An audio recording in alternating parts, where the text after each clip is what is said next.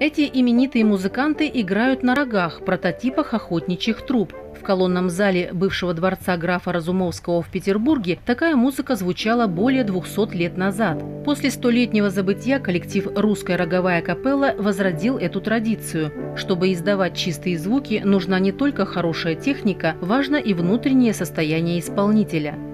Нам нельзя уподобляться то, что в русских народных сказках изображают отрицательные герои. Они выдувают из себя соловьи-разбойники, кикиморы. Вот этого нельзя делать.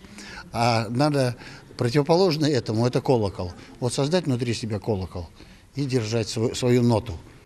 Роговая музыка была изобретена в XVIII веке Маришем, дирижером гофмаршала Семена Нарышкина, директора придворных театров. И состоял первый оркестр из четырех охотничьих рогов – «Валторн». Позднее музыка стала популярной. К примеру, уже в XIX веке личный роговой оркестр императора Александра I имел более 300 рогов. Но в начале XX века интерес к этому явлению полностью угас. В 2001 году музыкант Сергей Песчанский делает попытку возрождения. Он исследует музейные экспонаты, сохранившиеся документы, обращается к специалистам. На заводе музыкальных инструментов мне так и сказали, что не получается, ничего не понимаем. Как бы, ну, я тогда послушал, посмеялся и думаю, ну, уж такой примитивный инструмент можно и самим создать. Первый инструмент создатели русской роговой капеллы выполнил из бумаги. С его формой Сергей Песчанский тоже экспериментировал. В результате историческую конструкцию рога с загнутым концом заменили напрямую для простоты в изготовлении. Затем коллекция была усовершенствована, и сейчас в арсенале коллектива около 90 медных рогов. Каждый рог издает только одну ноту. У нас есть такие произведения, где происходит даже играть 6 нот. Сегодня в концерте будет до 5 рожков.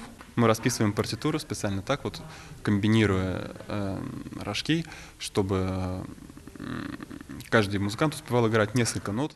Репертуар у музыкантов разнообразный. Это фанфарная, духовная музыка и даже оперы. На концерт пришли и постоянные поклонники роговой музыки, и те, кто ничего подобного не слышал.